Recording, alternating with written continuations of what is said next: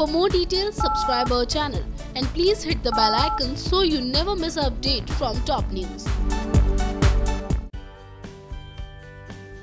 ये है मोहब्बतें की आने वाली कहानी में आप देखने वाले हैं कि अब सोनाक्षी के बाद भावना भी पहुँच जाएगी इशिता को डराने और वो भी भूत वाला अवतार लेकर लेकिन उसके बाद क्या होगा, ये पूरी जानकारी देने से पहले आपको शो के चल रहे ट्रैक के बारे में बता दे, जहाँ दिखाया गया कि पहले तो इशिता और रमन दोनों पार्क में बैठे होते हैं और दोनों का रोमांस दिखाया जा रहा होता है। लेकिन तभी होती है वहाँ भावना की एंट्री और इशिता देख लेती है, जिसके बाद इशिता काफ़ी ज़्यादा डर जाती है और वो रमन को सच्चाई बताती है। लेकिन रमन नहीं देख पाता। और फिर रमन इशिता को लेकर भल्ला हाउस लौट जाता है, जिसके बाद आपने देखा कि कैसे मिहिका और रोमी दोनों पहुँच जाते हैं इशिता और रमन के पास, जहाँ वो लोग पूरी सच्चाई बताते हैं, जहाँ सबको ये पता चल जाता है कि आखिर क्यों भावना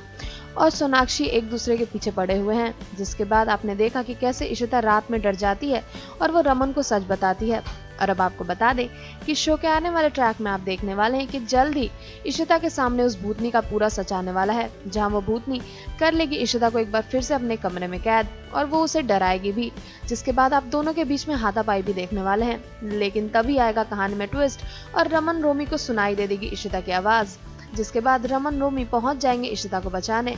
और फिर कहानी में आगे आप ये भी देखने वाले हैं कि अब जल्द ही भूत वाला ट्रैक भी खत्म होगा, जहाँ इशिता पता लगाएगी कि आखिर क्यों सोनाक्षी उसके पीछे पड़ी हुई है और आखिर कैसे हुई थी सोनाक्षी की मौत।